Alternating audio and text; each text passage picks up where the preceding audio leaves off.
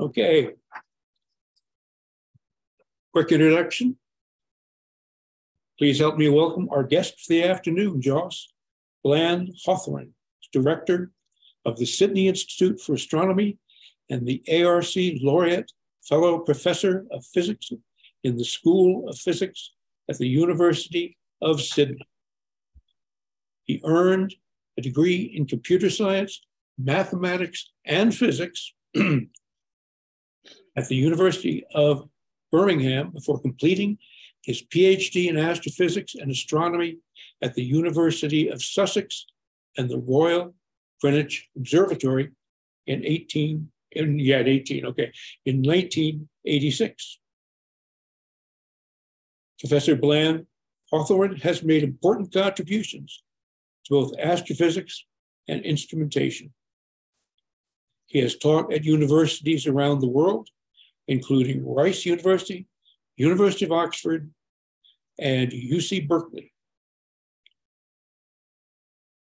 He is a fellow of the Australian Academy of Science and the Optical Society of America, and a great many other things as well. According to ResearchGate, Professor Bland Hawthorne has authored or co authored more than 1,000 scholarly articles that have been cited more than 53,000 times. well, Josh, welcome and thank you again. Welcome to the Greenway Talks Online. We'll take questions at the end. You can type questions into the chat as we go along. But for that reason, right now, I'll ask everyone in our Zoom audience to turn off their microphones. And with that, Joss, please, please, the floor is yours. Thank you very much. It's a great honor to be back a year later. It was a land of fires when I last spoke to you, and now it's the land of floods. So it really is very biblical. Even today, if I turned my computer around, you'd see tropical trees like a rainforest and just floods of rain everywhere. Anyway, it's just uh, just it's breakfast time here to give you a sense of uh, proportion Sunday morning, and uh, it's really terrific to be back online with you all. Okay, so uh, let me try to share my screen and get going. It's a good story, and I hope you enjoy it. Uh, if I go into display mode, um, here we go, display mode. And can someone tell, oh, yeah, it's the wrong view. Let me just switch the view. Um, swap displays. Do you see a single slide? Uh, yes, I do. Okay, so let me move on then. Um, thank you. So I don't want to get into the history of uh, who were the first astronomers, but there's a case to be made that Aboriginal people of Australia were possibly the first. Um, they've been on this land for um, 60,000 years. And uh, there are people that will tell you that their drawings would pick out parts of the Milky Way, um, maybe not pointing out star groups, but pointing out clouds in the Milky Way, because we have spectacular views down here of the of the galactic center and the, the dust lanes. So anyway, um, uh, I like to start, normally when I give talks in Australia, I start by acknowledging uh, the original astronomers, possibly the Aboriginal people of Australia, certainly long before Egypt the Incas, Aztecs, and so forth. Okay, so here's a picture of Sydney Harbour.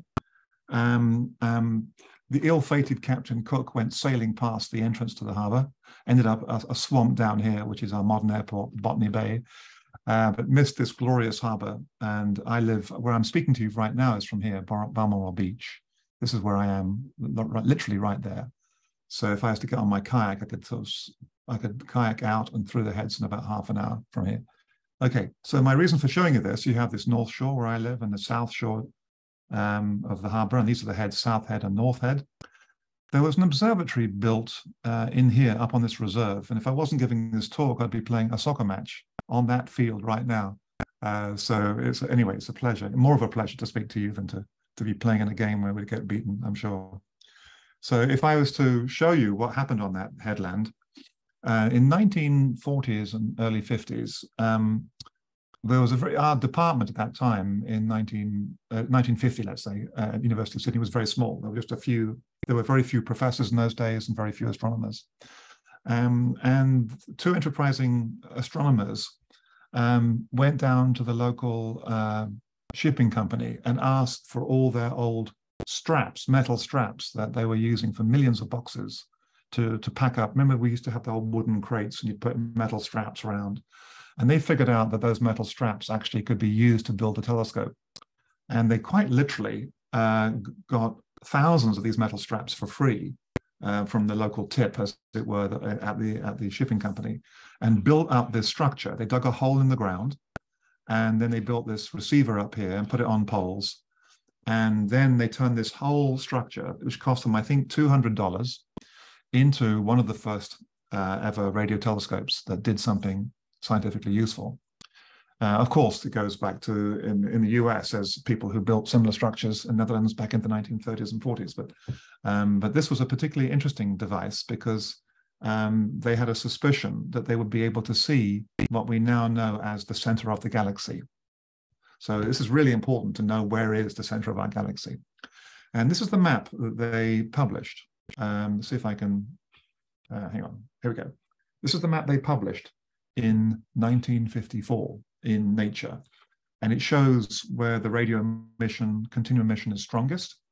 And notice that it, they see the Milky Way as a sort of a, a strong source of uh, ionized, what it is is basically ionized gas, ionized by, by star-forming regions and so forth, and then supernovae and other things.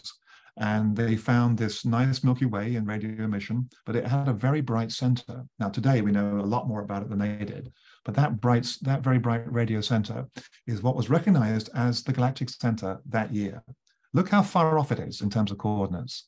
You know that zero or 360 is what we call the center of the galaxy in galactic longitude. And look where this is. It's at 329 degrees. So we are basically 30 degrees away. The galactic center framework was 30 degrees out, which is an enormous error. Um, it was, and of course, it was because it was determined by northern radio astronomers, people who were not in the southern hemisphere. And this thing goes right over Sydney every day. So it was the best place to look would be in Sydney, which is the reason behind their little telescope. Anyway, so this was the beginning of the story in a sense, which is where is the galactic center? And the galactic center, uh, as I say, goes right over Sydney, and we now know its position to incredible accuracy because it's uh, the home of a supermassive black hole. But knowing where your framework is centered and what is the framework, like how far away is that center, is the first part of any story, like figuring out where you are, where you live, and what's going on around you. All right. So this is a modern picture um, taken, I think, maybe from the, probably from the uh, middle of Australia somewhere. Um, and if, if you uh, X marks the spot, as they say, and we live right in there, that's the Sagittarius constellation. And this rather beautiful collage, uh, you can pick out star forming regions, uh, nebulae of different descriptions. Most of the brown stuff, as you probably know, is dust, very local to us. I mean, the center of the galaxy is is 20, 28,000 light years away, but this stuff is probably only a few hundred light years away, a lot of this stuff, which is high off the plane. Uh, but you sort of have to look through waves and layers of, uh, of cloud to go all the way into the center. And that center is only visible in the infrared and beyond. You can't see it in the optical because there's many magnitudes of extinction. Okay, so um, let me try to get this going. Uh, my cursor is playing up at the moment.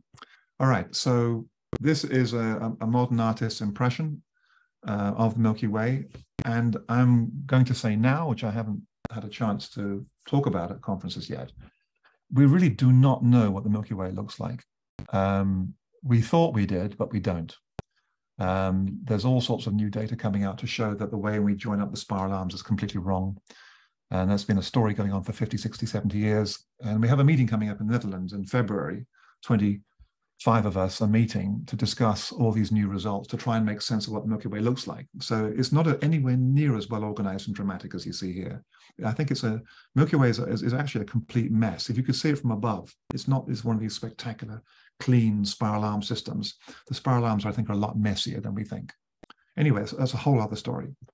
Anyway, here's an artist's conception, and we're looking to here we are in the in the in the um, uh, suburbs, looking towards downtown. Um, this is a very dense region of stars. There's a stellar bar pointing almost at us, not quite 20 degrees away from our line of sight.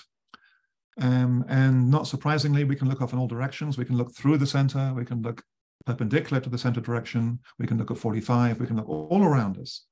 And we, in fact, if we, as long as we can figure out where the stars are in, as in terms of distance around us, we can do the kind of thing you do with iPhone. You know, with an iPhone, you're sort of standing in one place and you use the uh, panorama mode and you hold up, up the camera and you sort of do this this way and you go all the way around eventually it runs out and then you get this image this rolling image uh, covering well i suppose you can get to 360 degrees if you move fast enough.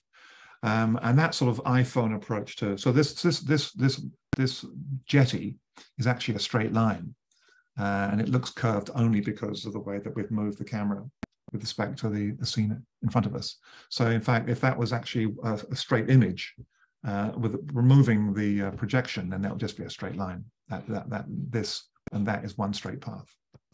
Okay, so we can do the same trick with stars. We can stand, we, we stand at the, the sun, we look all around us, counting stars, stars of known distance, all the way around us. And then we can reconstruct how it would look uh, as a three-dimensional object. And this is what we get. This is the 2MASS survey. That was in the US, a small infrared telescope counting stars and, and, and, and it had a very crude way of figuring out how far away the stars were. So this is not a photograph. This is actually this is actually a re, this is a um, pointillism. It's made up of millions and millions or billions of dots. And when you put all those dots together, you physically see the uh, Milky Way. You see it even flares a little bit as you look along the disk.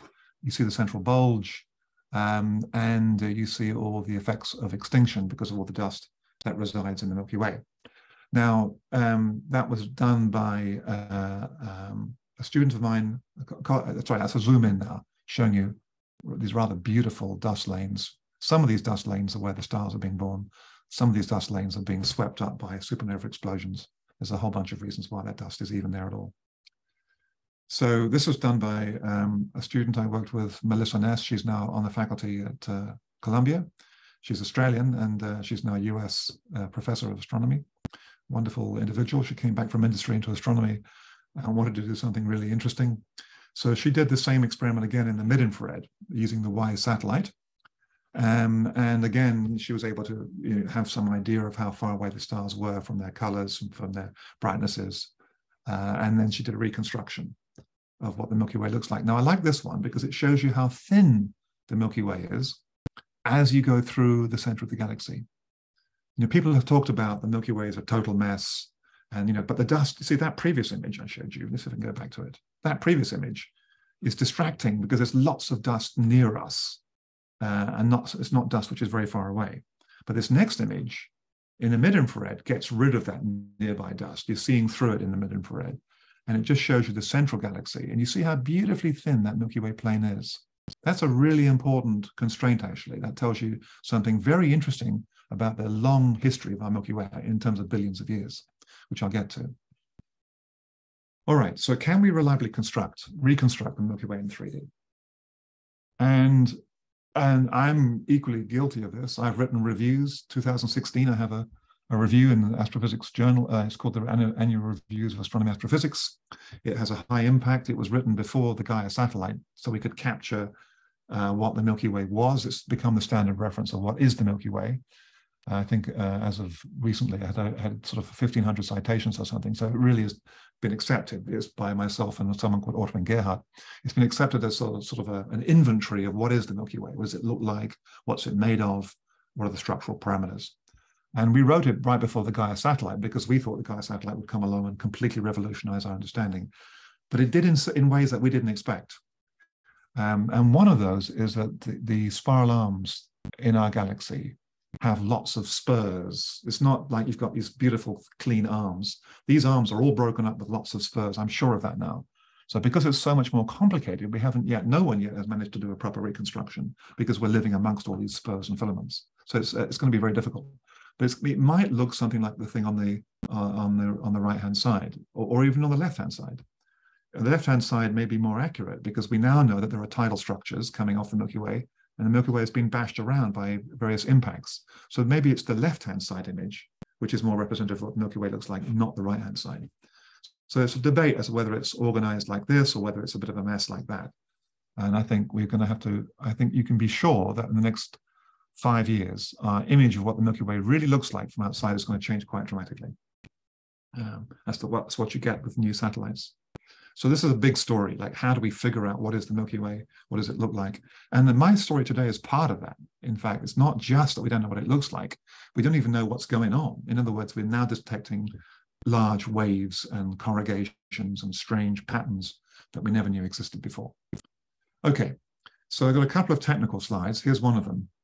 Freeman Dyson, who was a very brilliant, famous physicist at Princeton, died a year or so ago, uh, wrote a book called Birds and Frogs. And in that book, he says that James Bradley, who was the inventor of, I suppose, modern astrometry, laid the foundations of modern science. His impressively precise astronomical measurements gave birth to experimental physics as we know it today. So he's saying that sort of essentially 200 years ago, James Bradley began to do differential measurements, measuring something with respect to something else, like a star pattern here against a star pattern there. And he would say that these stars are known accurately here, so these ones over here can be measured with respect to the accurate stars. So this measurement, precise measurement of a star's position, came to be known as astrometry. It has three parts to it. So I'll go through this relatively quickly because I don't want to dwell on it.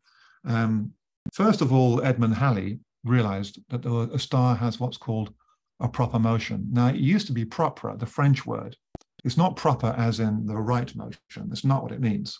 Proper originally was a French word, which meant a property of, property that something has, not, not the correct motion, because the correct motion is something completely different. So I'll get to. So proper motion was an English corruption of a French word, uh, proper motion, uh, which is that the stars appear to have be doing their own thing on the sky in projection. And then James Bradley came along with more, very much more accurate methods. He was the first scientist, apparently, to publish with four significant figures. And he detected the fact that stars' positions are shifted because they're moving at the constant speed of light. And that shift, uh, that shift is, is, is because of the, the finite nature of the speed of light. Then this nutation that the Earth is wobbling around. There's all sorts of horrible things going on that affect the way in which we perceive the stars' positions and motions. And then along came the simplest one of all, uh, Friedrich Bessel. Uh, in fact, other scientists before him had said that there'll be a thing called parallax. Parallax is holding your finger up, blinking with your left eye and your right eye, and seeing the background move around. And that's the, what, the same effect you get as the Earth goes around the sun. As you look at the stars, stars, the nearby stars appear to shift left-right uh, because of the like, like, blinking with your uh, your eyes on your finger. Uh, as the Earth goes around the sun, the star patterns all around the sky appear to shift left right. Now that parallax can be measured now for for hundreds of millions of stars, because we have a satellite that can do that with, with measure those little shifts because of our motion around the sun uh, with with much more accuracy. So there are lots of ideas there. There's a thing called proper motion, aberration, nutation, parallax. So this whole idea of astrometry is a very complex field. How do you measure the true motion of a star on the sky, uh, given that we're wobbling around, the Earth is wobbling around the sun, the Earth is being pulled around by the moon, uh, the Earth itself wobbles around as well, like a spinning top. You know, there's, there's, a, there's a very complex mathematical science from how you go from measurements to what's really going on in the sky. And that field is called astrometry. So here's the kind of thing that you see. A star is moving through the universe, and we see this effect on the sky and that as and the stars moving uh, across the the, the the the field of stars, of course, by itself. But this this effect here is parallax. The fact that we're going around the sun, it's as if the star is going around and around and around, but of course it isn't. We're the one that are going around and around, and the star's position is moving.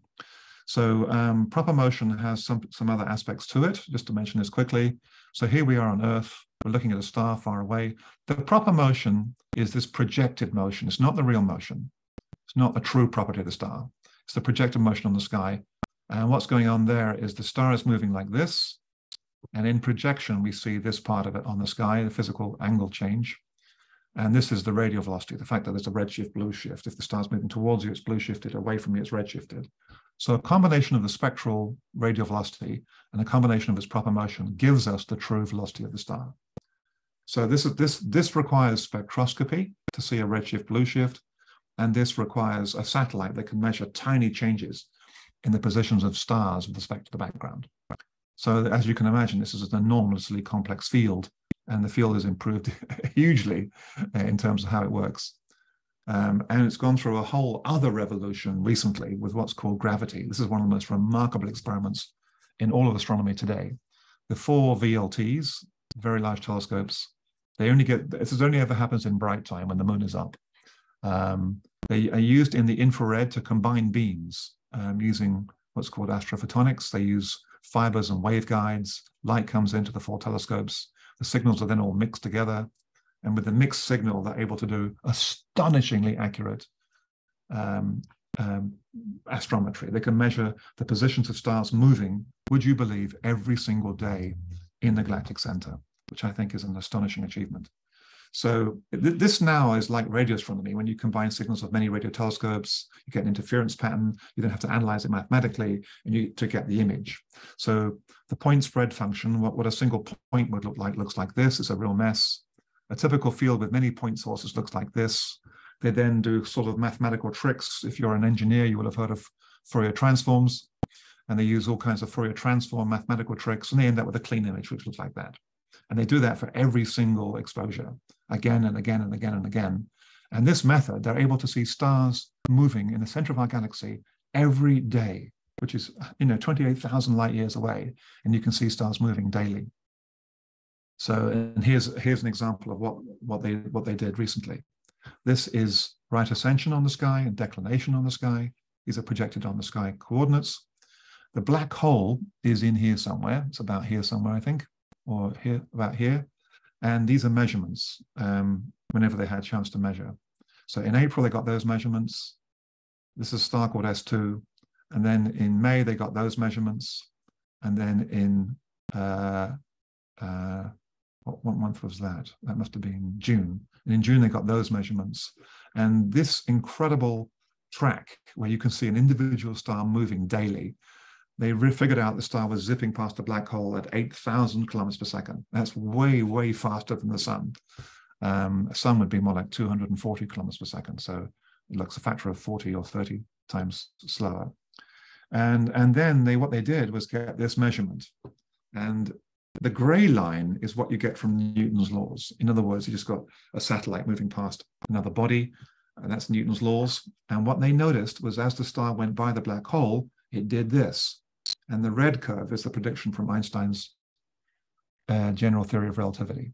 So basically what happened was as the star zipped by the black hole, it was moving through a, a stretched piece of space-time, and you need Einstein's laws to solve the equation of motion. So that, that was another demonstration uh, of Einstein's laws. And as you probably know, the Nobel Prize was awarded uh, to Andrea Ghez from UCLA, Reinhard Genzel uh, from Max Planck, Germany, and Roger Penrose in Oxford uh, probably, probably the very, very best confirmation we've ever had of a, of a black hole. So astrometry, I'm just, just showing you that astrometry has come a long way. We, we measure things on not just arc second scales or milli-arc second scales or micro arc second scales. We're, we're pushing down to, well, attempting to push below one micro arc second, uh, which is, you know, just astonishing. Okay, so let me end up with one summary just to show you how precision has come a long way. In my review, I said that the distance of the galactic center was 8.2 kiloparsecs plus or minus 0.1. So that's an error of um, uh, presumably about, you know, sort of a, a, a, a, few percent anyway. The black hole mass is 4 times 10 to the 6, 4.2 plus or minus 0.2, 10 to the 6, so basically 4 million times the mass of our sun. And the sun's circular velocity was 248 kilometers per second. But in fact, ESO gravity came along and has reduced all of these to much better than, much less than 1%. We now know the distance to the galactic center to incredible precision. That's something like 0.1% or better. Um, black hole mass we know to um, uh, 1%. And we know the sun's speed around the galactic center to, to better than 1%, 1% as well. So you can see now that precision measurement is made possible by these amazing uh, experiments. But it's not just the, uh, the ground-based experiments. There's lots of experiments in space going on right now. There's the ESA Gaia satellite, the NASA Kepler satellite, and the NASA TESS satellite. Uh, these are measuring uh, different things. ESA Gaia is measuring this astrometry stuff, how things are moving. NASA Kepler and NASA TESS are measuring how stars are flickering, uh, how much the light is flickering. Uh, and that flickering light tells you about the, uh, the mass of the star, the age of the star, and so on. So we're getting really good masses, really good ages for billions of stars. We're getting really good motions, six-dimensional, three in position, x, y, z, and vx, vz, three in velocity, three in position. So we're ending up with many more dimensions of data for a billion stars than we used to have. It's been a spectacular success. This again is pointillism. It's not a photograph. Each point uh, probably represents about a thousand stars.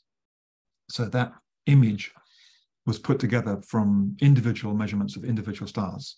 So when you put them back together again on the sky, you physically see, as you can see now with incredible detail, the Milky Way, the center of our galaxy, uh, and you even see where this ex extinction is high because of nearby dust. I think that's a particularly beautiful reconstruction of what uh, the sky looks like.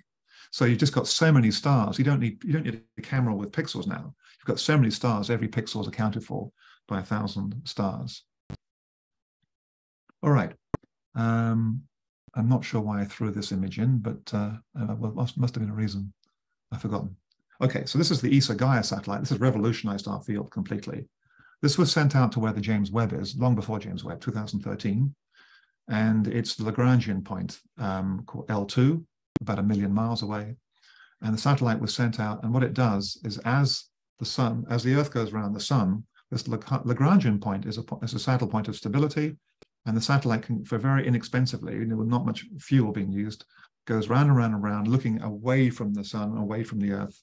And as the Earth tracks around the sun, it covers the whole sky. So this is the satellite Gaia uh, that is uh, measuring these amazing, uh, accurate, amazingly accurate positions of stars. All right. Okay, so let's go to the next one. So this rather, this is a, this is a lovely plot, but it's very low resolution, but it shows you how astrometry has improved. So Hipparchus, apparently, I'm not sure if it's true, measured the positions of a thousand stars back in, you know, uh, uh, BC, hundreds of years before Christ, and he measured positions to an accuracy of a thousand arc seconds.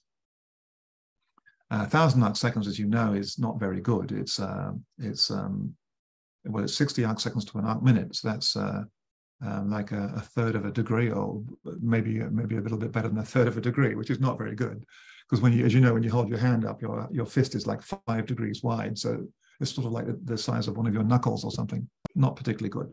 But anyway, he measured the, uh, the positions of a thousand stars. So that's a thousand arc seconds, and you can see what happened with time.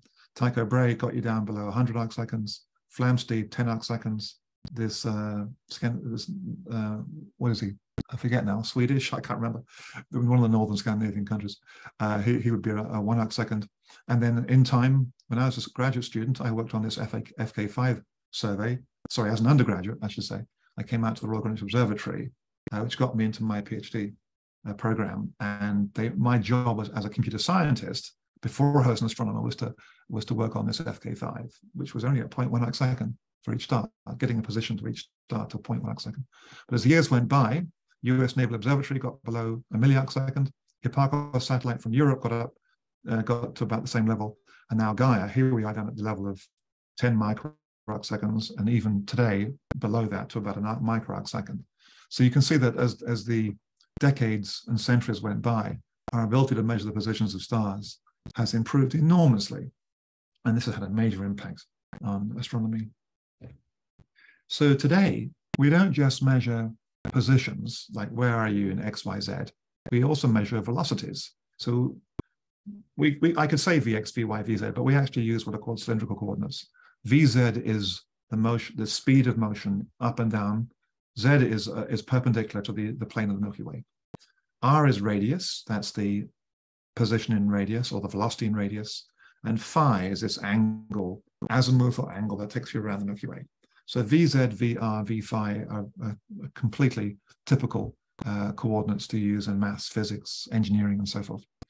Um, and we measure VZ, VR, V or VX, VY, VZ, doesn't really matter, and X, and, and Y, and Z, the positions. We measure all six of those. We call that phase space. Three dimensions of space, three dimensions of velocity is called a phase space.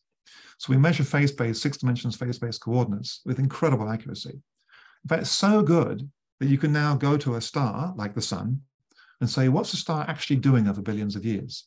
And the orbit might look like what you see along here, the blue, the blue tracks you can actually show that over the course of, say, 10 orbits, it's got this rather lovely rosette pattern. And then this red track is the last, say, 10 million years. So we have a very accurate way now of figuring out the precise orbits of each star. And you've got this for a billion stars, not just one star. I mean, the truth is, it's not that good for most of them. 30, 33 million stars have extremely good orbits, and the other billion stars, the orbits aren't so good, but they're statistically good, but not so good in terms of precision. So we do have, there's 33 million stars that have very good orbits right now, which is a lot. And we also measure their spectra. We measure what's in them. We measure the existence of argon, calcium, carbon, helium, hydrogen, so on. Um, and so the, uh, the, the Gaia survey is not so good at doing spectroscopy uh, like this. We, we, but we use ground-based machines to do the follow-up spectroscopy. The US has one called the Apogee survey. I have one here called the GALAH survey in Australia. And we're busily measuring uh, for a small fraction of the stars, the detailed chemistry within those stars. So there's a lot of data. You've got positions, you've got velocities, you've got ages, you've got masses, and you've now got uh, chemistry for millions of stars. So here's my survey here in Australia, working with a fabulous young team, the GALAH survey. GALAH stands for Galactic Archaeology. And if you've not been, the observatory is beautiful. It's, a, it's on an old worn down volcano. Uh, and, and you'll realize that having so many trees is not good because it means the weather is, uh, they get rain, which is not, you, you, you would know that a desert side is probably better. However, we do do a lot of uh, beautiful astronomy. Uh, and this is one of these machines that we use. it positions fibers with little glass prisms on the end. And each glass prism deflects light from the sky into a fiber. And that fiber takes it down to a spectrograph. So this is how we get millions of uh, spectra for stars. All right. So um, let's now talk for a moment. I can just pause for a moment and see if people are still uh, awake. Are there any questions at this point?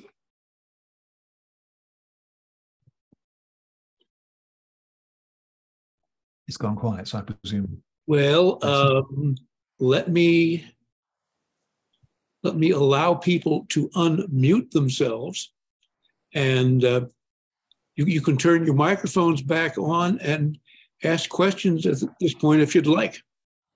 Or, or just ch- uh, send a message to the chat window. That's the other the other option. Okay. Yep.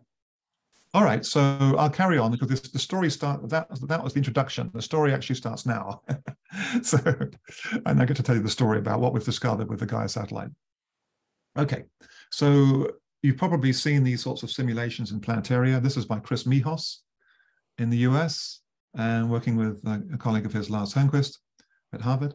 And they show how when you collide galaxies together, you get these beautiful interactions these are computer simulations. These are very much out of date now. These are very early, early versions of simulations. Today, we can do many more particles, much more sophistication. But it does get across the fact that when galaxies interact, and you probably will recognize this as the antennae or the mice, there are lots of examples of galaxies that look like this on the, on the sky. Um, okay, so that's one of them. Oh, why would it let me move forward? There we are. So here's an example of galaxies that have been strongly disturbed and their disks have been distorted into uh, wave-like structures, and and there are lots of examples of these sorts of things in the sky. So we know that galaxies are heavily impacted. Sometimes you don't see what's doing it. Often you do see what's doing it, like a luminous galaxy plopping through.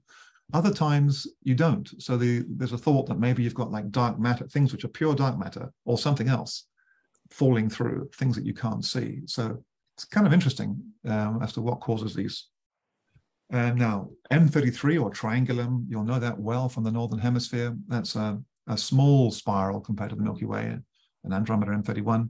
Um, and that's a, a, rather beautiful pinwheel galaxy. Uh, if you look at it in the radio, however, so that optical image I just showed you falls inside here. It sort of falls on this scale, on this, this sort of physical scale. It's a small disk right in the middle there. That's the optical image.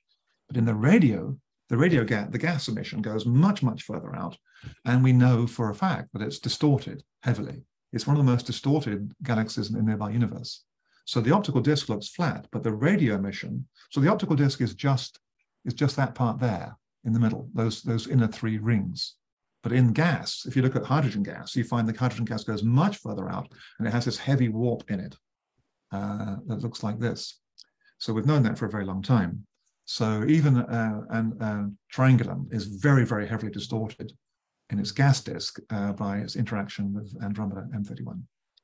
And for that reason, we know that dark matter halos are also heavily distorted. Even though we can't see dark matter halos, we infer their presence. Um, and we know they're like a wobbling jelly. So dark matter halos, they're not these big spheres. They're probably flattened somewhat. they're probably very distorted. This, this may be exaggerated, but so the dark matter halos are wobbling around and look very distorted, maybe highly structured. Uh, even though we can't see them, we're pretty sure that's true. Okay, so how do we learn about the Milky Way? How do we know, learn, look for um, effects of disturbance in our own Milky Way? How would we do that? Well, one way of doing that is to look at, a, let's take a, a galaxy that looks like the Milky Way from outside, like this one, seen edge on. What you could do, for example, is take this image, and there's there's lots of stuff you, as you know when you contrast images. There's lots of stuff here that's not being seen. There's probably stars up here, stars down here. So imagine you take half the galaxy image above and fold it over and subtract it from half the image below. So you take pixels in here, subtract from pixels in here, pixels in here, subtract from pixels in here, pixels in here, subtract from pixels in here. And then just do a mirror symmetry subtraction. What would that look like? So people have done that for the Milky Way in the last decade, and they learned something really amazing. So this is the Sloan survey in the Pan-STARRS, this is Sloan survey in the in um, uh, in uh, Arizona, isn't it? And Pan-STARRS in Hawaii. So they looked at all the star counts above and below the Milky Way disk. This is our, our Milky Way plane in here. And this is looking on the sky between 60 and 180 degrees in longitude, so away from the galactic center. Um, and the galactic center is over here somewhere. Subtract the north from the south. They did that. And what they found, this is now folded. So you've now gone. So before we had minus 2.5 kiloparsecs to 2.5 kiloparsecs, and they subtracted that image, folded it, and subtracted from that. So now, so now this is zero to 2.5, so it's been stretched by a factor of two. And what you see is if they were completely symmetric, I think you'd agree it would be green everywhere. It would just be zero because it would just be a mirror, mirror symmetry of each other. But in fact, that's not what you see. You, you find regions, so right and in the plane in here, that's been removed uh, because it's too crowded and you can't separate stars. But you see regions here where there's, there's fewer stars, and then regions through here where there are more stars, then fewer stars, then more stars. It's like a ripple effect through the Milky Way disk itself. It's also true of motions. Like if we look at the random motions of stars, this is zero again. This is now in radius, 8 to 10 kiloparsecs in radius, right through where we live. And you subtract the motions of stars. If, if it was a purely a motion of, it should just purely be a disk in rotation. But when we subtract the north from the south, we see again these sorts of residual variations. It's slightly negative above, slightly positive below. So um, even in motions, not just in densities, we're seeing uh, that these things don't subtract. There are, there are real very large scale variations going on. So this is now on a much bigger scale. This is tomography of the Milky Way. This is done by the Sloan Survey, Jurić and colleagues. And the galactic center is over here. There's zero, zero zeros over here. So the galactic center is over here. And this is an exponential disk. Uh, and what they've surveyed is this region in the northern hemisphere, this region in the southern hemisphere. Uh, and when they subtract off this model, this very clean exponential disk model, from that, they end up with these residuals across the sky. You've got too many stars, zero, blue is too few stars. Um, and they've done that, um, what the, so below, they've done it again for, oh, this is for, that's right, this is for blue stars. This is for red stars, stars which look a bit older, like giants. And you, you see different patterns in the old stars compared to the younger stars. So there are real variations between north and southern hemisphere in the Milky Way. And that's a real puzzle. Well, we've known about distortions of the Milky Way for a very long time. Colin Gum, who's an Australian Swiss astronomer, uh, wrote three very important papers. Uh, unfortunately, they were published uh, after he was killed in a skiing accident in 1960, and but his work lives on. Um, this is a modern survey now. This is 2019 using classical Cepheid variable stars, using the WISE survey.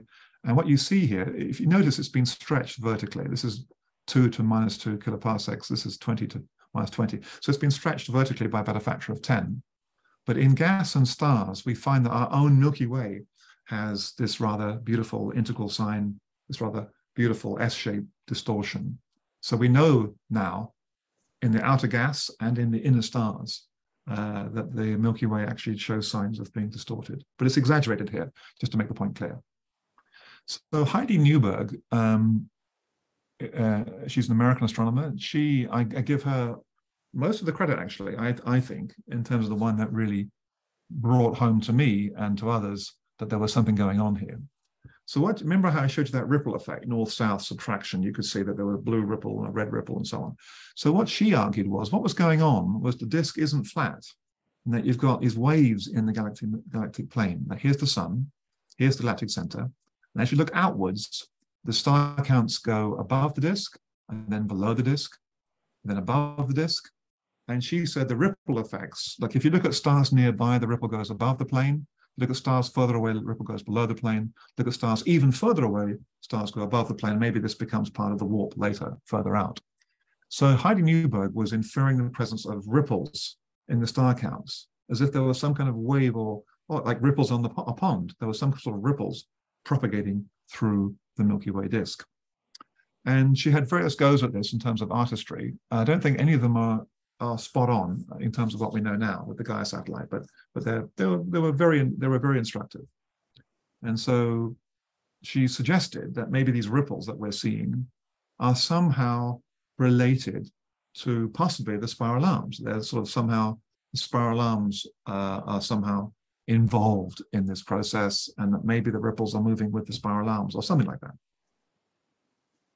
Um, other people came along and said, could the ripples be doing this? Well, this is complete nonsense. This, this can't happen. You can't have ripples propagating through the disk like that because these, this disk is not a solid piece of steel. It's actually differential, like water down a plug hole. Like this is moving fast. This is moving like rapidly around here, and this is moving slower around the disk. So it's not, that could not be the picture. Now, other people have come along more recently uh, and said, actually, if you look at the star formation regions, they go above the plane, below the plane and above the plane. And, um, and he took a cut through the Milky Way disk like this, looking in this direction through this, but now looking above, this is Orion here, this is the sun's position here. This is plus or minus two kiloparsecs. This is looking at XY above, above the Milky Way plane. Sorry, it should be clearer. This is galactic latitude versus longitude. So we're looking at the Milky Way from the side in a sense, but we're living inside of it, which makes it difficult. And this is looking from above. And so he takes this line through here and finds there's some kind of ripple effect in the star formation regions. And in fact, he selects certain star formation regions and says, look at that, I see a clear ripple. But I've never kind of fully understood how those regions were selected. But he talks about, this is all in gas now, not stars. He says hot uh, star forming regions show evidence of these ripples in the local gas. So you've got stellar ripples seen by Heidi Newberg, and you've got gas ripples seen by uh, uh, Dr. Alves.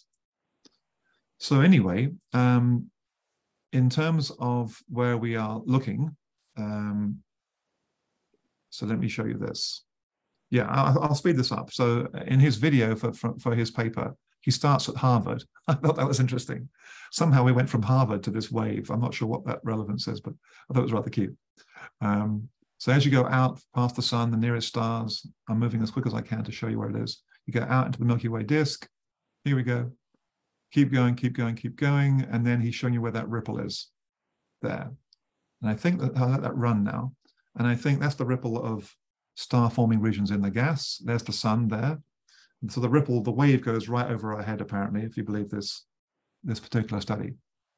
So even though stars are being born in these clouds, these, these clouds really show you where the dense gas is. So I'm saying that the ripples are being seen in gas as well as in the old stars seen by Heidi Newberg.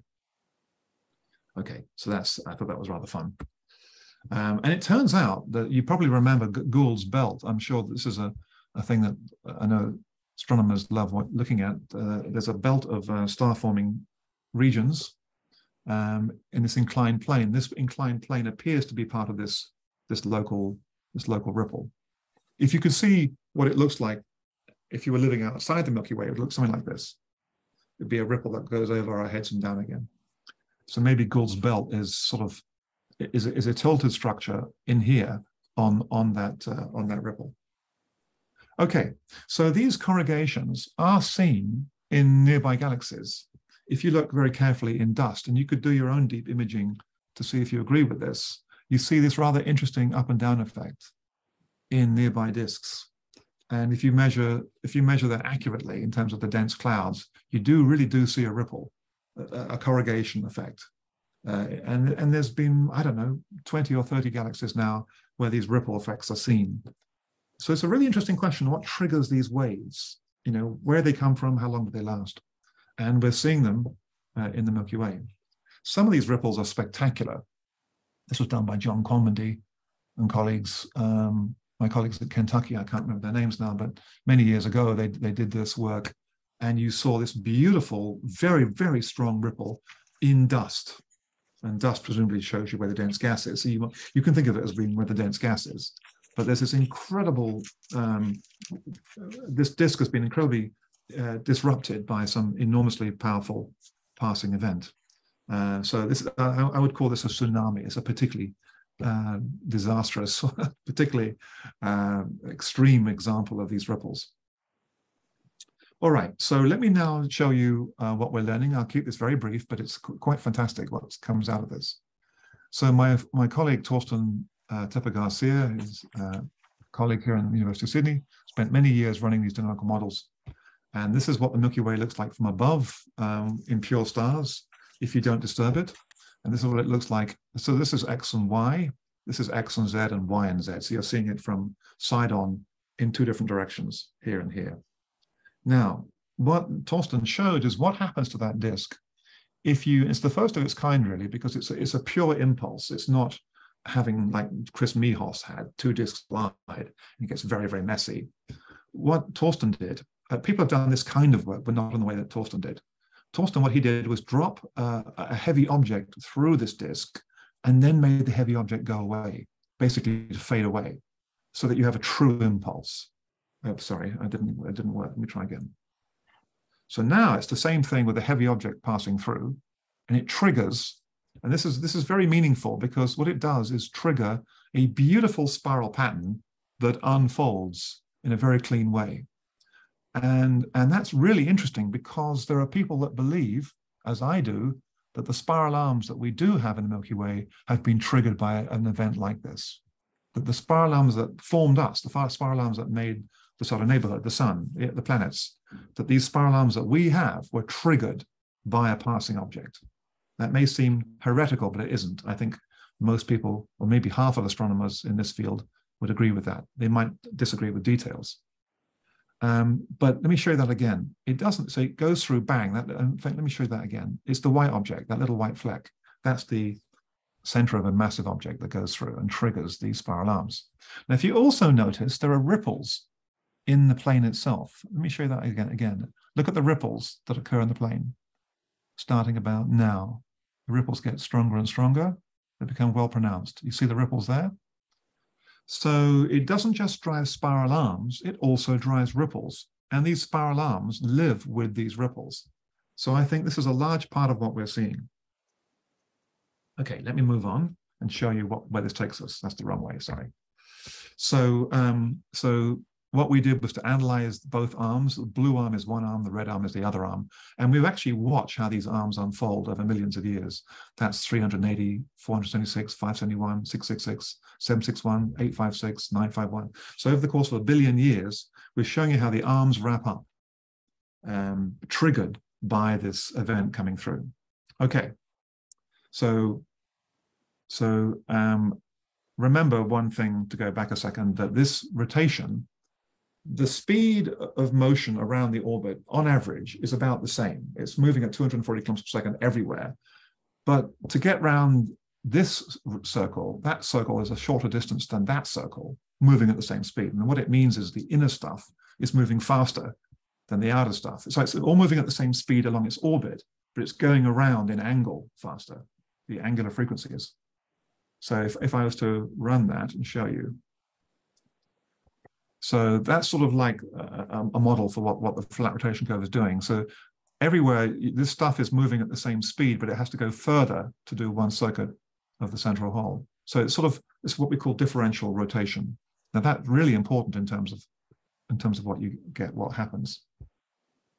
So basically what that means is, I don't think we're seeing ripples on a pond when you look at these ripples, because these ripples get sheared by the fact, and if you had to sort of imagine these ripples occurring on that previous whirlpool, it's a combination of the both of them, and that gives you some very strange effects.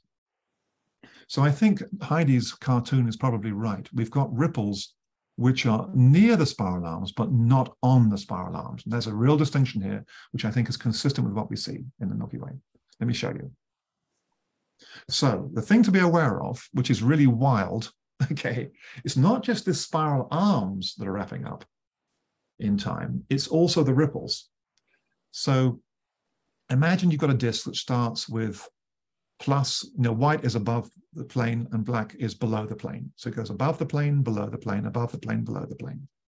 You've got to combine it with that differential effect from the whirlpool. Remember the whirlpool video?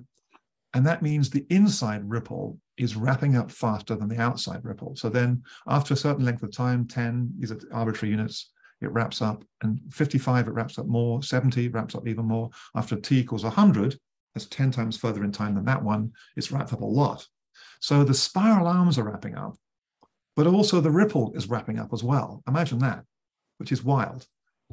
The difference, however, is the ripple wraps up at a different rate from the spiral arms. And that's a really important distinction. So spiral arms are wrapping up at certain speed, angular rate, but the ripple is wrapping up at exactly, almost exactly half the rate. So the spiral arms go up and down, up and down as the ripples move under them. So that's that's that was really quite extraordinary. It turns out there are theoretical papers going back many years about Russians and you know and so forth, uh, talking about this is the sort of thing that would happen if you bang a galactic disk. You know, if you just bash it, then these are sorts of effects that happen. And I think that's exactly what we're seeing. So we call this the roller coaster. And here's the, here's the object that did it, by the way. It's called the Sagittarius Dwarf. This heavy object um, has been through the Milky Way several times already. It's coming through again. And this was discovered actually in, in Australia on the, uh, the Anglo-Australian telescope that I showed you uh, early on. This, this object was discovered, but this has been mapped by many surveys since. It's a dwarf galaxy. It, it was once the mass of the Large Magellanic Cloud, which is 10% of the mass of the Milky Way. It was once that massive. Now it's only 1% of the mass of the Large Magellanic Cloud. And it's punching because it's lost a lot of its mass as, as it gets destroyed. And it's punching through the Milky Way. So I think that's the trigger for what's causing it. And, and proof of that, if you like, is as follows.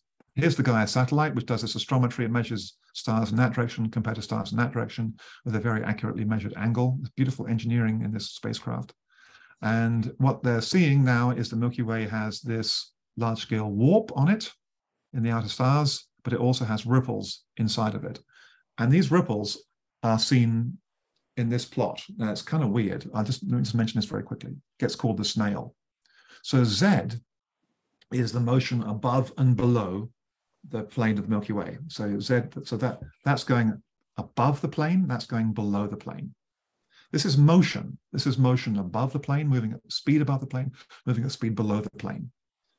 So if you have a if you had an oscillator like a pendulum swinging backwards and forwards like this, that would purely make a circle in this in this drawing. If you, if you had z, you know v z is the this distance, vz is the motion, then it turns around, z's the distance, vz is the motion. It's a pendulum doing this and this and this. If you were to plot that on that diagram, it would be a circle. And then if that pendulum began to uh, damp, but began to stop swinging, like it swings like this, then like this, and then like this, and then like this, and then stops, that circle would become a spiral as, a, as the pendulum. So what you're seeing here is basically 33 million stars, which were moving above and below the disk as a pendulum. And some of them are still going uh, way out here, and some are slowing down, and some have stopped in the middle. And you basically got all these stars going up and down, up and down nearby. It's all in our neighborhood. And it makes this amazing spiral. This spiral in the Z, VZ phase space we call this the snail. It's the great discovery of the ESA Gaia satellite. All the local stars are, are sloshing up and down like different pendula with different swings. Some are going a long way in and out, some are going only a small distance, which is proof that the galaxy was bashed by some passing object. All right, so this is my last technical slide, then I have a summary slide. This is from our model now, just to prove the fact. So here's the spiral wrapping up, and green means it's above the plane, Pink means it's below the plane. And look what happens. This model shows you the spiral arm is below the plane, spiral arms above the plane, spiral arms below the plane, spiral arms above the plane, and the same with the other arm, the counter arm is the same thing.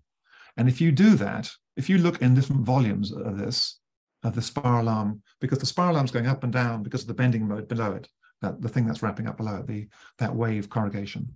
And if you then look at the stars in those regions, you see these beautiful spirals.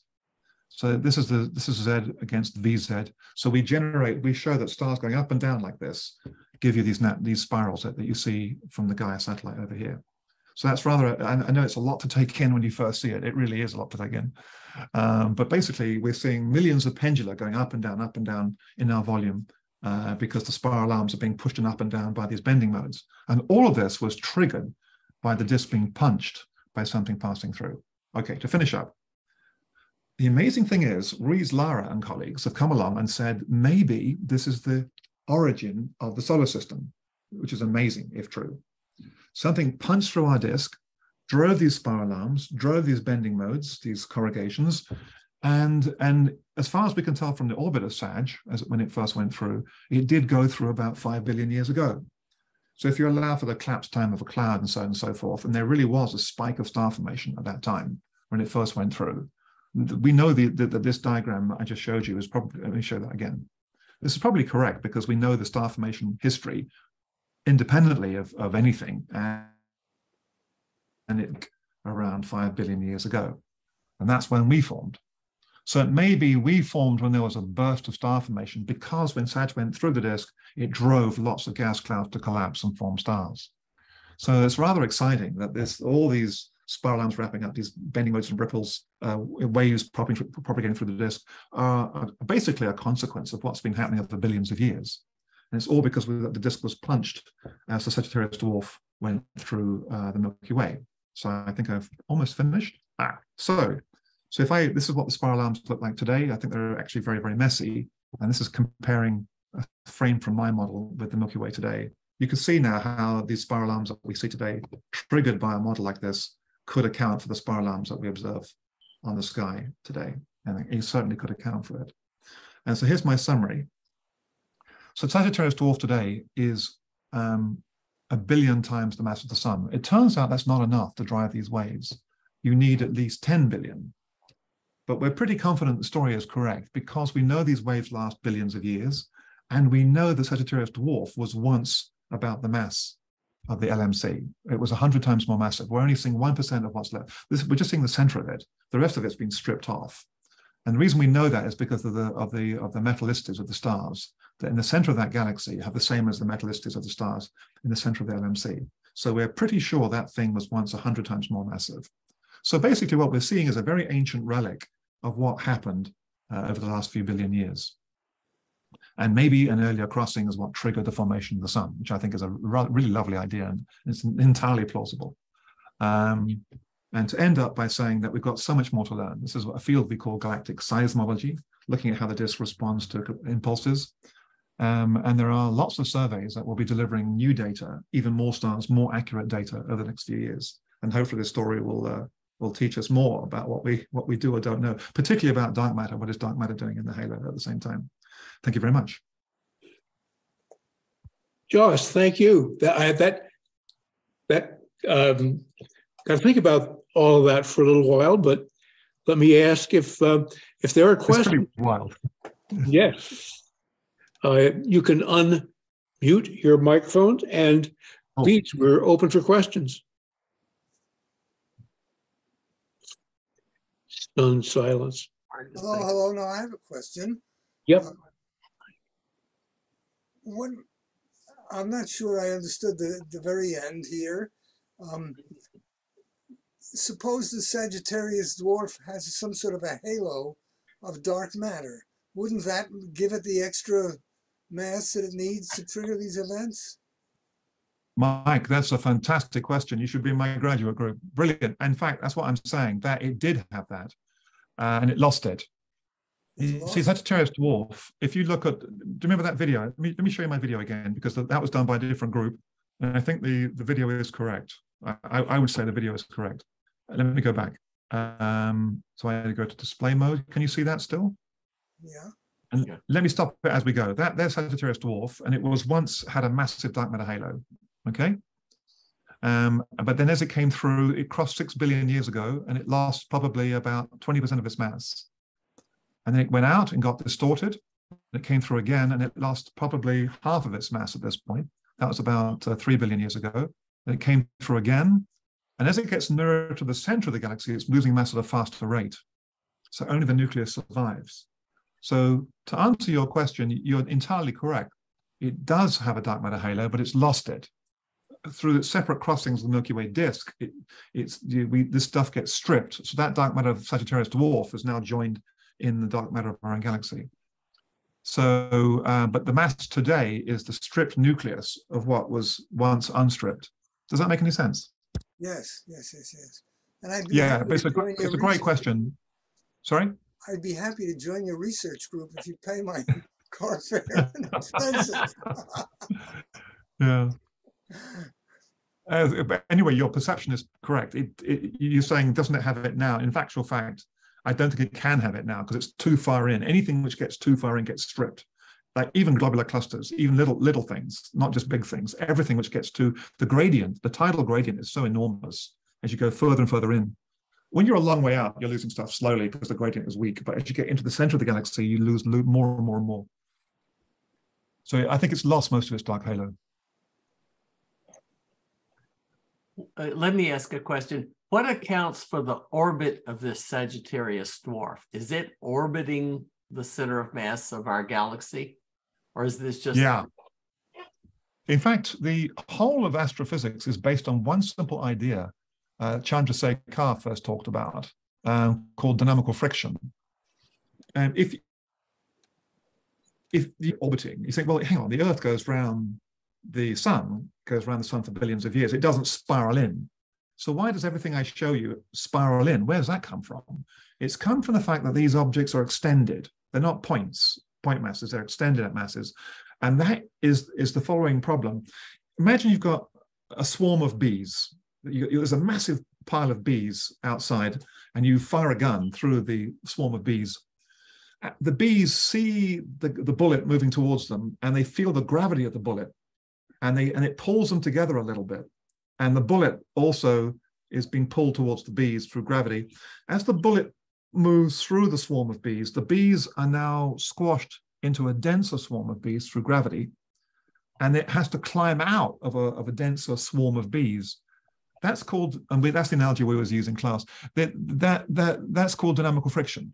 Whenever you have a swarm and another swarm, and the swarms move through each other, the swarms, this swarm sees that swarm, and it sh- it shrinks it down. This swarm sees that swarm, shrinks it down. Then you're moving through a denser potential world. You lose energy. You lose energy to the to the other swarm, as if you get what I'm saying. So that's we know that's what's going on in these n-body simulations. And in fact, it's the reason that galaxies build. Otherwise, how do all these clumps of dark matter? Why do they need to orbit forever? Why do they all merge to form a dark matter? It's because of dynamical friction. Mhm. So that's that's why the orbit um, loses energy. That dark, that compact object, that Sagittarius dwarf, is actually losing energy to this. It's losing mass and energy to the stars and dark matter of our own halo. and it's a huge multi-body problem. And this Huge. Sagittarius dwarf is penetrating our plane at a different part every time. So it's causing some kind of an evolution. Yeah, absolutely. And in fact, we do these now with supercomputers. I, I'm Torsten and I use a supercomputer in Australia, the Gadi supercomputer. Americans have access to like Illinois as a fantastic supercomputer center, and these are very expensive calculations. Yeah. It's, it's just simple Newton's laws. It really is no more than Newton's laws. Like you've got a billion objects here and a billion objects here, or uh, sorry, a million objects here and a billion objects here. You work out all the forces by computer, supercomputer at very high speeds. It's just simple Newton's laws, not not much more than that. Would there be some way of um, of somehow sort of synthesizing this so you didn't have to work out every individual point? That is correct. If, if you look at how the codes work, in fact, Lars Hernquist at Harvard is a good friend of mine. I was overlapped with him at Princeton back in the uh, late 80s, and I watched him doing this in real time. He developed a code called the tree SPH code, And it's a very clever way of, you don't need to work out, you've got a particle here and you've got a billion particles over here. You don't actually need to work out all the forces. You, you, you worry about the things which are near you, but as things go further and further away, you can use averages over ensembles. So they have very clever partitioning tricks. And it's the kind it's it's actually not so dissimilar to what amazon.com does when it analyzes trillions of gigabytes of data on people's purchasing power and trying to relate this to this. Do you really want to have a matrix of a billion people here and a matrix of a billion other purchases here? And you know there must be efficient ways of comparing matrices. And there are all sorts of clever tricks that that that, that do that. So you, you don't so so that's not entirely true. There are simulators. Take a globular cluster with a million a globular cluster with a million stars and you're wondering about what the stars do over billions of years in a globular cluster, in that case, you do do all the calculations because you have to worry about individual stars becoming binaries and blah, blah, blah. But if you're doing galaxies and cosmology simulations, you don't have to worry about one-on-one. Yeah, it's, it's, a, it's a, there's a whole statecraft behind behind n-body simulations. It's, it's a massive field. A lot of there are thousands of people doing this work across atmospheric physics and geophysics engineering calculations. Question. Since the uh, Milky Way is now approaching uh, and maybe even interacting with uh, Andromeda, aren't we about to punch Andromeda? And so aren't some of these things testable over a very long period of time? But Yeah, yeah, uh, yeah. That's that's a really interesting conversation in its own right. I've done some work on this. It's sort of like four billion, five billion years into the future. Uh, we and Mil- Andromeda, uh, they, some people call it Milkomeda. Milky Way crossed with Andromeda becomes Milkomeda, which I think is a stupid name. But if you type the word Milkomeda into Google, you'll find uh, people's work on on that.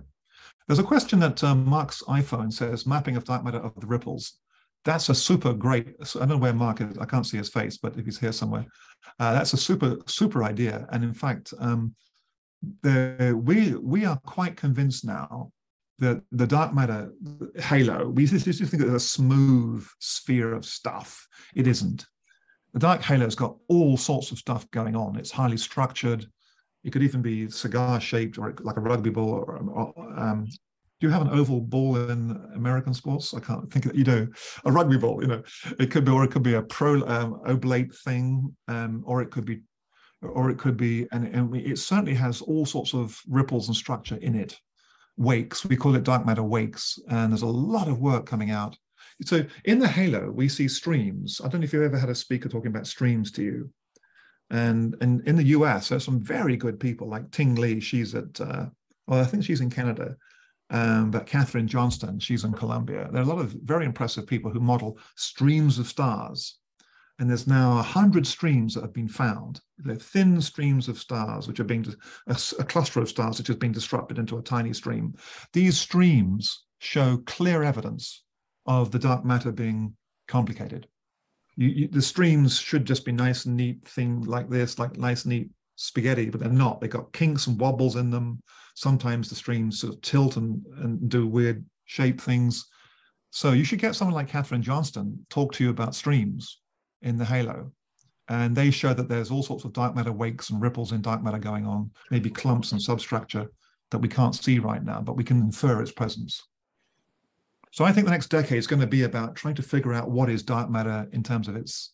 There's there's the particle thing, like what is the particle causing it, which is like Large Hadron Collider and all these experiments in mines happening in Australia and America and all around the world. There's the particle nature of what is dark matter, but then there's the structure of it. What is it? How does it coagulate into stuff uh, like Milky Way? Uh, that that that second thing is what I'm heavily involved in. I've just written another paper, completely separate from this paper, um, on on dark, dark matter wakes and ripples, which will be appearing in the physics journals next next couple of months. So I think the next decade will be all about trying to figure out, you know, if you could see dark matter, what would it actually look like in terms of its distribution? It's a nice, nice uh, insight. Other, other questions, other questions, please. There are some questions in the chat. Um, Okay, at, Finally see. at at what speed do these ripples move, Ari? Yeah, good. Really? Really interesting question. What speed do the ripples move? Um, yeah, so they Gonna hang up. they're not moving fast. So if you remember that simulation I showed you, um, probably the best answer is it's so they're moving much slower than the speed of the, the stars around the sun. Sorry, stars around the galactic center. The sun around the galactic center. That's moving at 240 kilometers per 250 kilometers per second. Okay, so it takes 220 million years for the sun to go right around the center of our galaxy. But these ripples are slower. They are the way they propagate. It's sort of like um, I sort of someone showed me a video of um, what is it? Yeah, it's it's sort of, it's sort of like uh, watching a, a boat. It generates a wake, and you notice, and the boat's moving fast. The river can be moving fast, but the wake moves off at a much slower speed Mhm. away from the boat. It's sort of like that. These ripples don't care about the the speed of the flow underneath them. They're a propagation, which is independent of the speed of the of the medium below them. So they move quite slowly, I'd say. Oh, So thank maybe you for the answer. five five times slower. Thank you. Yeah, good question. But we, we've talked about spiral galaxies. Um, what's what's the origin story for elliptical galaxies? Yeah, that's um elliptical galaxies are a mess. They are it's claimed that they are almost anything that you smash together, like two disk galaxies or two spherical little spherical galaxies, almost anything you smash together uh, will make you some kind of elliptical galaxy, apparently. So uh, it turns out, however, that elliptical galaxies are, come in different kinds. There's the giant ones, which don't rotate very fast. They look like a pileup. Like if you throw lots and lots of things into the center of a group of galaxies or cluster, they make this big elliptical thing. It's a mess. Everything's just a pileup of debris. But there's also the small ellipticals, which seem to have rotation in them.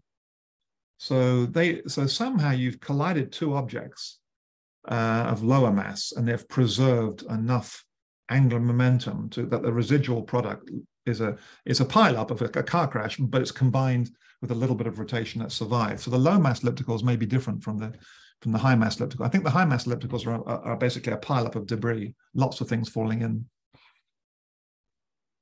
Ah, And Okay. somehow the gas gets all used up. There's not much gas left.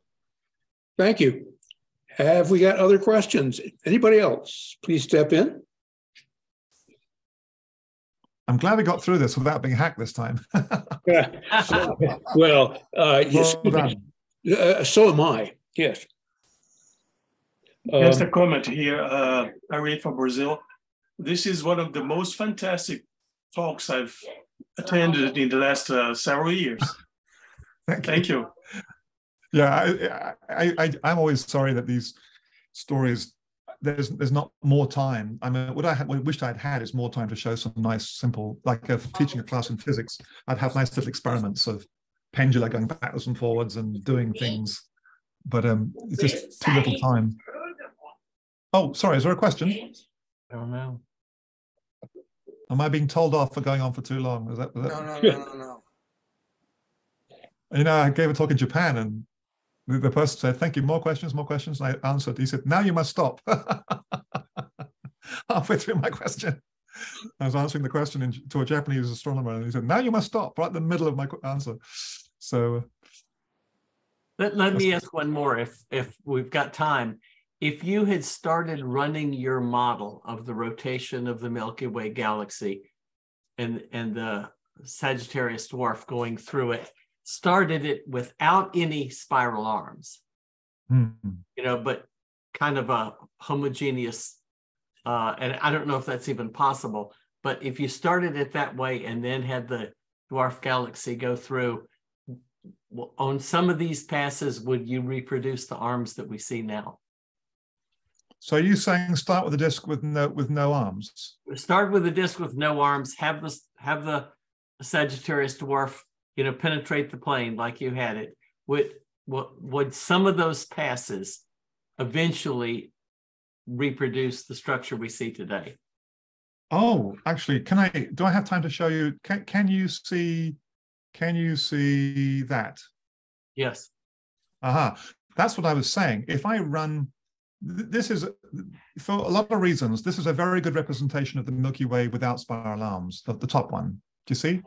That's that's the disk seen from above. It's like hundred million particles. Okay, It's being evolved for about a, a billion years. And then this one is the same thing. It's the exact same galaxy.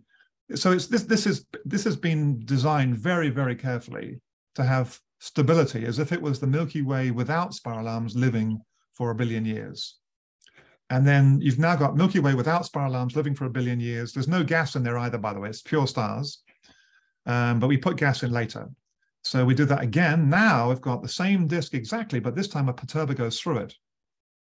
And that perturber generates spiral arms that wrap up. And I'm saying that these spiral arms look a lot like what we've got today. right. And you also, if you look at Sidon, see these beautiful ripples. Do you see, this, see the ripples? I see the ripple. So does that imply that the some kind of an original state looked like this above, you know, galaxy Yeah. without arms? All right, that's a really okay. Let, let me let me let me start again.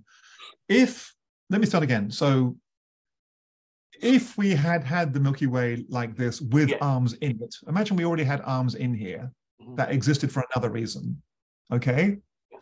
And we hit it with an impulse, like I just showed you. Right. Um, I don't completely know what would happen, but I'm fairly certain that this would dominate. Oh, okay. You, you're raising a really, really good question because what we've done is simulations which already have a bar and spiral arms, and we've hit that with a perturber. And it is more, it is a little bit more messy, but in fact, this impulse-driven spiral arm does dominate. So in actual fact, when you when you bash a disk, it's almost like you restart it, like you you reorganize it, resettle it, restart it. It's like so it's like year dot. So these, assuming that our impulses are are are are, are, are correct, the, the, the level of impulse we're imposing is correct. Um, so I would say that this that any impulse going through the disk doesn't matter what went before, it it would it would re, restart the restart the from scratch and look like this. Does that make sense? I think so. Thank you. Yeah. It's it's yeah. You, to be honest with you, what I haven't shown you is what happens when you have gas in there, and you know lots of molecular clouds, and you know bring in an ele- large small energetic cloud, you know, all the other things moving around. Um, we've been doing that now. We're getting more and more sophisticated, and I think it still holds true that a major impulse sets everything in motion and dominates the previous what went before. So if you had a um, something pass through an elliptical galaxy, Hmm. would the result be No, no, no. Is it- That's a fabulous question, and the answer is no. What you what you know you you know what you'd get in that case? Um, ah, am I allowed to bring up? Um, let me let me just find you what you're going to get. And would you believe these are being found in the nearby universe? Um, okay. Uh, can, can you see my my my my screen? Yes. Yes. All right, I'm going to go to Google and I'm going to type in. Let me show you. These were discovered in Australia by the famous photographer David Malin. There's a colleague of mine here. Uh, he and I worked the same observatory for 20 years. He's a fantastic fellow. David Malin discovered what are called shells, elliptical galaxies. Look at this. And um, yeah, let's see if I can find some beautiful examples of this to show you. This is what happens in your case. Oops, that's uh, I- I made a mistake then. So images. Aha, here we go. Look at this if you have an elliptical uh, galaxy and you throw, let me let me find a cleaner. So these are so messy these days. Um, I'm just looking for a spectacular example to show you of, of shells. I think, I think these are some of the best. Here we are. Let me let me see if I can bring this one up. Yeah, M89, I believe, is one of the. Oh, oh gosh, it's so, so frustrating how they always give you multiple options. Like you know, going into an American restaurant, we get five choices of water and three choices of bread and six choices. I just want a meal. you know, I'm not. Uh, this choice culture drives me mad. Uh, anyway, I find it so hard to. Someone like me who's indecisive. All right, here we go. So here, oh, this is not elliptical. No, this is a spiral. Ah, okay. So this is so. It's sometimes spirals have them too, but mostly ellipticals. If you throw an object through an elliptical, you get these beautiful thin shells. Do you see that? Yeah. Yeah, so it it um the galaxy itself is not messed up as far as I know, but it but what happens is is is people say it's like when you have a, a pig trough and you throw marbles in, the marbles slosh around, and every now and then you see a ripple where the marbles are turning around, where it slows down. You see ripples occurring. You know, you've got millions of marbles going backwards and forwards in a pig trough. Every now and then, the, the, marble, the marbles always turn around to come back, turn around to come back. Every now and then, you see a whole bunch in in synchrony, uh, lined up together, sort of like um, Newton's cradle with the swinging pendulum. So these shells, I think, are what are caused if you throw a dwarf galaxy through elliptical. And what confuses me, however, is this is a, actually a spiral in the middle, which I, I, did not remember this, this galaxy as having a spiral a disk in the middle of it. All right, so that wasn't so impressive. I'll stop sharing. We ellipticals. Trust me when I say that ellipticals are ones that mostly have shells, almost entirely. Yeah. We are we are running down on time. Uh, okay. Kurt, let's let's let's conclude. Con- Curtis, you had a you had a question. You want to step in with it? Uh, well, yeah. Uh, I, I'm I'm struggling with your entire presentation because it seems to fly in the face of what uh, I learned as the uh, orthodox model for spiral galaxies as it existed 30 or 40 years ago. Huh. Yeah. Oh, yeah. Quite right. And, and uh, uh, the thing is, I, I always understood that the arms of the galaxies are not winding up, that they're caused by some sort of uh, uh waves progressing, uh, you know, I guess in a circular pattern, pattern through the galaxy. And what you're saying is, in fact, the arms do wind up. Yeah, well done. Well done to you. So um, that is an entire conversation. So let your Chris, that, Curtis, your question, your comment question is spot on. So the the big breakthrough has been to realize, as you say, it used to be like there's this inc- incorrect model by Lin and Shu of a spiral arms or a wave-like phenomenon that never wrap up. They had this idea that maybe arms should never wrap up. There's no reason to think they should so that that was wrong from the outset. That arms can't be winding up. Well, they can be winding up as long as they're regenerated. So we now know. I think most astronomers would agree in galactic astronomy, like me, would agree. I'm talking about three or four hundred people. Most would agree that spiral arms are not long-lived; they're transient. Spiral arms are like waves that build and crash on the beach. You see these beautiful ripples from in you know in Hawaii, you're watching these beautiful. As I lived there for four years, I watch these beautiful uh, swells coming, and then they build up, build up, and crash. More swells coming in, build up, and crash. And spiral arms are transient; they're not long lived. And, if, and I I have been misinformed all these years, and I've probably even given a wrong explanation at star parties as to what's going on in galaxies. Yeah, I'm, so Linen Shoes, Shu's, Lin and Shu's model. I am enlightened. Yeah, Lin and Shu's model is wrong. Spiral arms are, are definitely transient phenomena. And the reason we know that, which is wild, is because Sellwood and Binney in 2002 wrote a paper which showed that spiral arms long-lived. Stars are born in a certain place, they stay where they are. I mean, they wobble about because of their orbit. But if spiral arms are transient, stars get kicked out of their orbit and they migrate. So stellar radial migration is now the is the it's the biggest. Um, uh, it, maybe it's overhyped, but it's the biggest thing in galactic astronomy. That all stars migrate. Our sun, for example, was not born at eight kiloparsecs; it was born at four kiloparsecs and migrated to eight kiloparsecs over billions of years. So our sun was once, uh, when we were born, we were four, we were half half the distance from the galactic center. And over over four, over five billion, four, four and a half billion years, we've migrated all the way out to eight kiloparsecs. We probably migrate even further out. Well, that raises so questions. All, yeah. That raises questions then for uh, uh, plate tectonics and uh, seismology. No, the forces aren't not the right forces. They're all internal. No, I know what you're saying, but no, it well, doesn't. It doesn't. Well, no. It, well, okay, okay, okay. Okay, that's that's again another concept. Things on Earth, the, the, the forces there. It's more to do with the moon moon and yeah, don't yeah, that's that's separate. But what I'm saying is that every star in the Milky Way is migrating.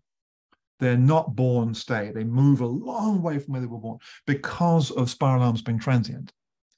So the fact we know them, and I, don't get me on why we know, but we know without a shadow of a doubt that all stars are born and then they migrate a long way because everything makes sense once you see that. That's a whole other uh, presentation about why do stars migrate, um, and go on holiday somewhere else. You know, um, um, so my just, just to finish very quickly, the the point I'm saying is that the the spiral arm transients it goes goes along with that. If you make spiral arms long live, then you can't account for all this migration. At the so, age of 78, I have an epiphany then. I'm it is an epiphany to all of us. Astonished. It's taken 20 years. Yeah, for 20 years, it's taken us all to, to realize Science moves on. on. Curtis. Science moves on.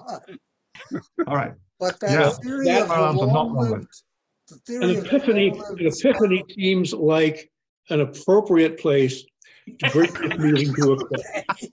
I can't think of a more appropriate way to do it. Um, and we uh, we've we've been been about an hour and a half, and we're running out on the time limit. And Joss, you've been well, you've been very, very generous with your time. We thank you. That was really a spectacular presentation. Um, yeah, we're very grateful.